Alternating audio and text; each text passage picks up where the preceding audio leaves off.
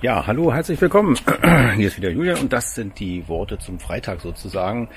Ähm, ganz kurz, ähm, ich wollte euch was zeigen. Tata, da steht da der neue ID 3. Und da steht da nicht nur, sondern, Moment, 1, 2, 3, da lädt er auch schon und ähm, lädt an, nein, nicht der E.ON E-Box, sondern der Zeppi oh, endlich kann ich das richtig nutzen. Und äh, nein, in diesem Video geht's nicht darum, 1, 2, 3, so, dreh dich. Genau. In diesem Video geht's nicht darum, dass ich euch die Zeppi erklären will oder dass ich euch den hundertsten Review vom ID3 äh, erzählen möchte, sondern einfach mal meine Gedanken über die ersten 24 Stunden in diesem tollen Auto und was vielleicht für Einsteiger, die ihr Auto auch ähm, abholen, zu beachten wäre. Gleich geht's weiter.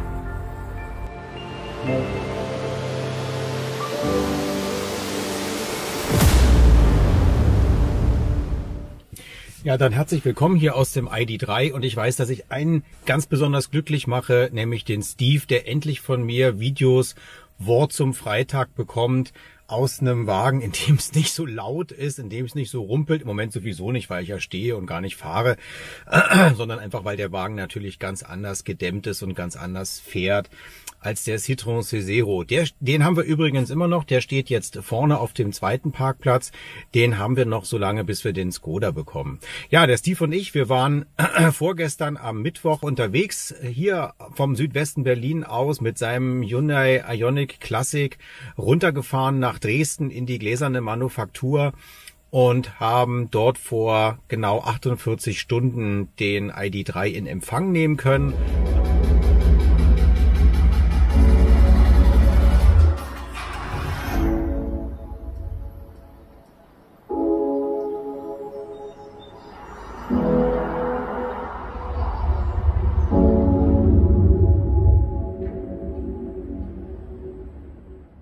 Hat wirklich wahnsinnig Spaß gemacht. Wir hatten am Mittwoch ein fantastisches Wetter.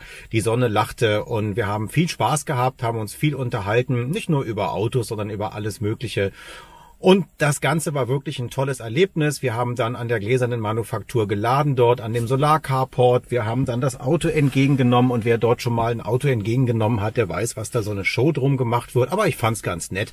Darf ja auch mal irgendwie sein.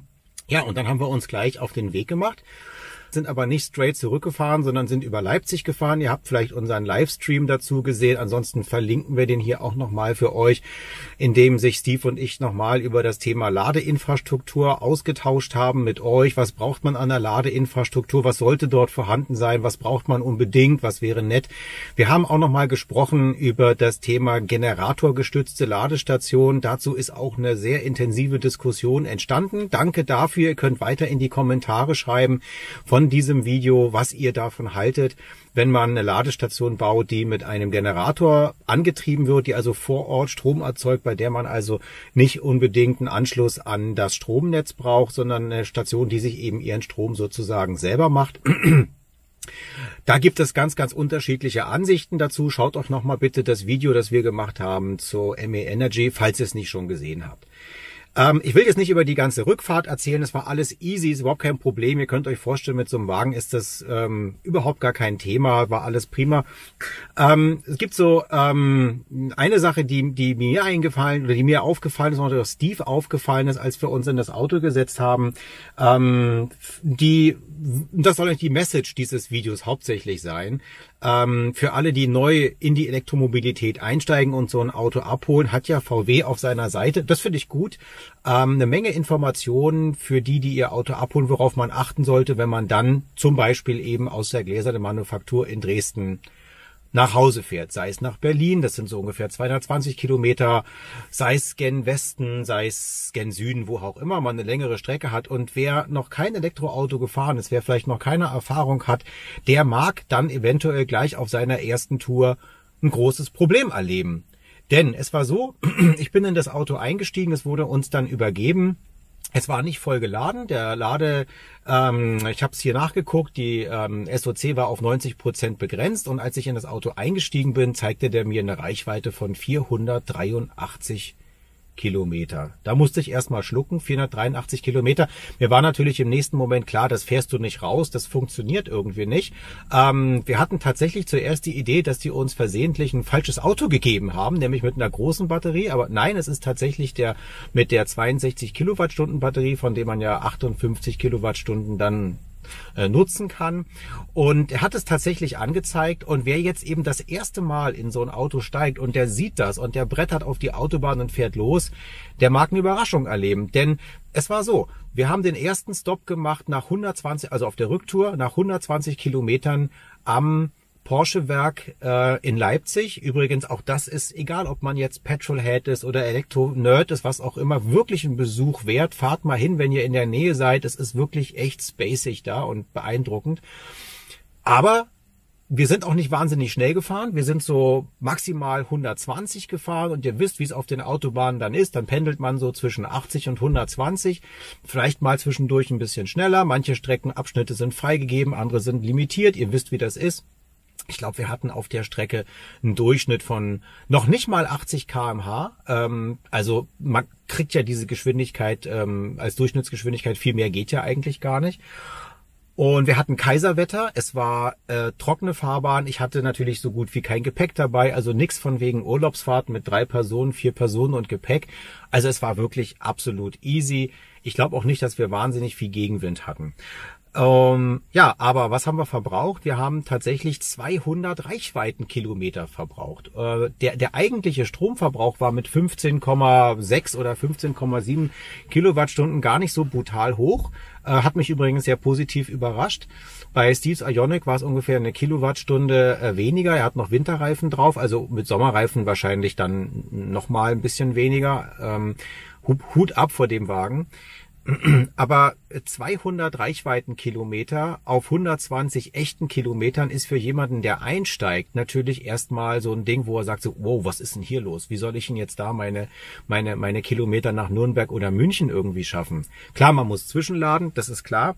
Aber ähm, das Auto war halt noch auf Werksverbrauch irgendwie eingestellt. Er hat dann nach dem ersten Zwischenladen ähm, schon dann bei 90 Prozent nicht mehr 483 Kilometer angezeigt, sondern ich glaube noch 420.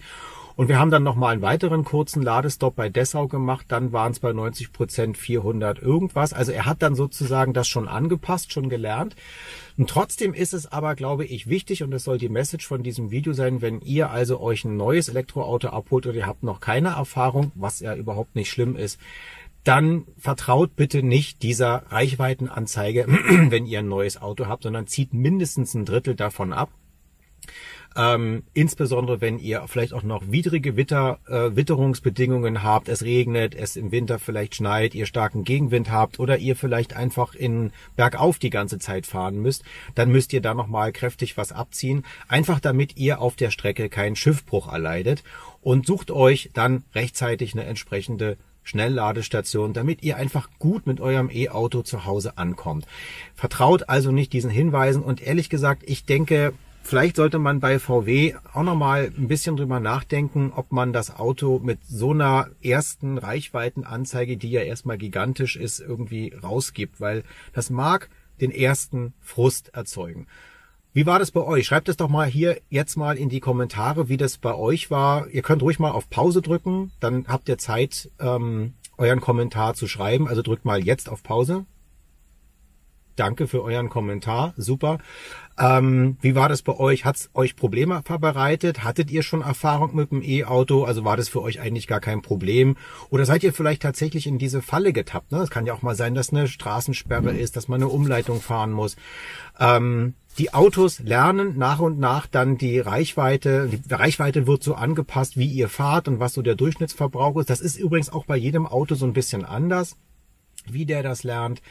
Ähm, er hat es hier so ein bisschen kapiert inzwischen. Ich bin mal sehr gespannt, wie sich das entwickelt in den nächsten Tagen. Mm, aber da sollte man einfach aufpassen. Und ich meine, eigentlich müssten die Fahrzeughersteller doch auch die Durchschnittsverbräuche der einzelnen Strecken kennen, wenn man da eine Route plant, dass dann das System sagt, nee, ich nehme eben die Daten, die ich kenne von den Fahrzeugen. Die Fahrzeuge haben ja eine Telemetrie, übermitteln ja Daten.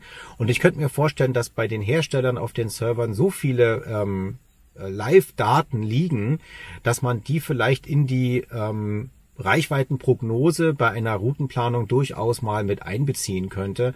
Firmen wie VW, Tesla, Nissan, alle anderen, die so viele Fahrzeuge auf den Straßen haben, da ist doch garantiert jedes Fahrzeug schon mal irgendwo, irgendwo lang gefahren und diese Daten natürlich anonymisiert könnte man vielleicht in so eine äh, Prognose irgendwie setzen. Ich sitze jetzt ja hier gerade drin, ich lade jetzt mal gerade bis 70 Prozent und er zeigt mir jetzt 319 Kilometer an.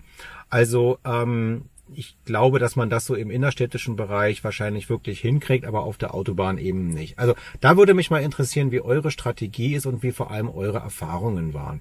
Ja, ansonsten, was mir natürlich auch noch aufgefallen ist, aber das habt ihr in 10.000 anderen ID3s, ID3 Reviews auch schon gesehen, ähm, 100 kW Ladeleistung erreicht man natürlich auch nicht. Der erste Ladestop in, bei Porsche war, glaube ich, bei 58 Prozent SOC und die Ladestation dort war ein HPC-Charger, zeigte 44 kW an. Ich meine, es ging bis 80, 90 Prozent doch relativ fix. Aber auch das ist etwas, was man den Kunden nochmal extra auf den Weg geben sollte, wo man vielleicht auch ins Fahrzeug nicht so ein Werbeflyer hängt von, von dem eigenen Naturstromangebot, sondern einfach nochmal so ein Flyer. Ihr kennt das, wenn ihr euer Auto bei ATU oder irgendwo hattet, dann hängt immer meistens irgendwie so ein Anhänger am Spiegel, wo drauf steht. Also bitte bedenken Sie, Ladeleistung so und so, ähm, dass Sie da also auch keine falsche Einschätzung bekommen, denn diese Information 100 kW Ladeleistung, das wissen wir alle, die alten Hasen, das erreicht man ja nur unter bestimmten Bedingungen und in bestimmten SOC-Bereichen. Da sollte man sich also ähm, den Kunden informieren darüber, wir hatten dem Herrn, der uns das Fahrzeug übergeben hat, dann gesagt, ja, wir haben Erfahrung, wir wissen, wie es läuft, aber ich weiß auch nicht, wie er reagiert, wenn da Einsteiger sind, aber ich denke, da muss man klar und deutlich darauf hinweisen, dass die Ladezeit entsprechend deutlich länger sein kann. Ja, das soll es eigentlich gewesen sein. Ansonsten die ersten äh, 48 Stunden sind äh, fantastisch verlaufen. Ähm, ich habe zwar mich einmal total dumm angestellt und habe das Ladekabel nicht aus dem Port rausgebracht, habe mich da auf dem ähm, Discounter-Parkplatz, wo ich geladen habe, wahrscheinlich mehr als lächerlich gemacht, wie äh, Julian an dem Ladekabel rüttelt und völlig wahnsinnig wird, weil er das Kabel nicht rauskriegt, bis er gelernt hat, wie es funktioniert. Ist halt doch bei jedem Auto anders. Also es lohnt sich doch, die Anleitung zu lesen. Und ansonsten die Familie liebt das Auto, aber ich will über den ID3 selber nichts erzählen. Das wisst ihr alles, sondern es ging jetzt einfach wirklich mal nur darum zu sagen, wie sind eure Erfahrungen gewesen bei der Erstabholung eures Autos. Schreibt's also, wie gesagt, falls ihr es vorhin nicht gemacht habt, dann doch jetzt bitte mal in die Kommentare. Was würdet ihr euch für Informationen wünschen, wenn ihr euch ein Auto frisch abholt, wenn ihr noch keine Erfahrung habt? Mein letzter Tipp für heute wäre das, was wir schon oft gesagt haben macht ausgiebige Probefahrten, leiht euch vielleicht bei einem Elektroautoverleiher, da gibt's ja so verschiedene Firmen, die ihr alle wahrscheinlich kennt. Ansonsten googelt oder bingt einfach danach. Leiht euch wirklich mal ein E-Auto aus. Fahrt mal eine längere Strecke damit. Wirklich mal so ein, zwei Stunden über die Autobahn. Guckt mal, wie das ist, damit ihr ein Gefühl dafür bekommt. Fahrt auf euren normalen Strecken. Macht, wenn es irgendwie geht, Ladevorgänge, Schnellladevorgänge, damit ihr ein Gefühl dafür bekommt, wie das ist. Es ist halt ein bisschen anders als mit dem Verbrenner. Ihr wisst aber alle, dass man sich ganz, ganz schnell dran gewöhnt und es auch dann gar nicht mehr anders eigentlich möchte. Ich überlege jetzt gerade, ob ich aus dem Wagen aussteige oder ob ich einfach mal heute hier drin sitzen bleibe. Ähm, unser Hund zumindest gestern, den habt ihr ja auch schon ab und zu mal in den Videos gesehen, der ist gestern hier in den Wagen reingehopst, hat sich hingerollt und geschlafen, hat gesagt, okay, das ist ja alles prima. In dem Sinne, ich wünsche euch ein schönes Wochenende, bleibt gesund, bleibt negativ, ihr wisst, ne, immer schön Tests machen, negativ bleiben. Vielen Dank, wenn ihr dem Video hier einen Daumen nach oben gebt und vielleicht auch ein Abo dalasst, denn das ist dann euer Support und unser Applaus fürs Weitermachen. Also herzlichen Dank, euch ein schönes Wochenende. Wir sehen uns vielleicht am Sonntag zur Live-Sendung. Ein richtiges Thema haben wir noch nicht. Da wird uns was Spannendes einfallen. Bis dahin. Ciao, ciao.